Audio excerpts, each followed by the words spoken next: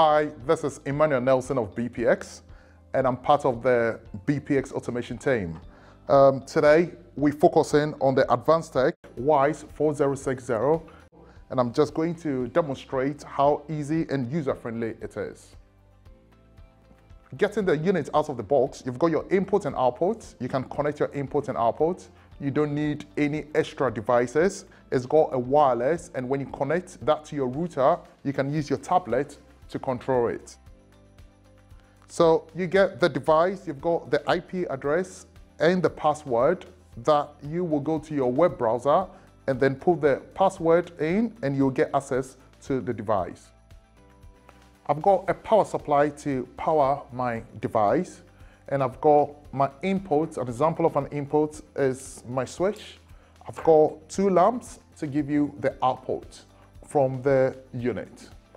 You can also use an HMI to control this device if you've got a web browser built in your HMIs. But for this demonstration, I will be using the uh, web browser on my tablet. In this particular demonstration, just imagine you've got an input onto maybe a warehouse door. So I'm just going to use the switch to open and close your warehouse door.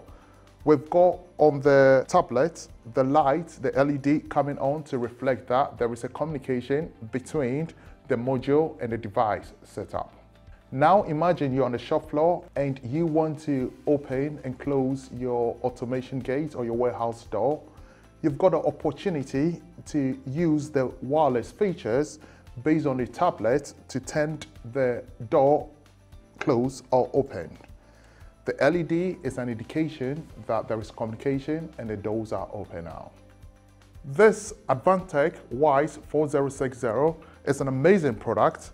The ability for you to connect to a router wireless, it saves time in wiring. There's no need to write a programming code. What a fantastic product it is. If you need more information, please click on the link in the comments. Thank you.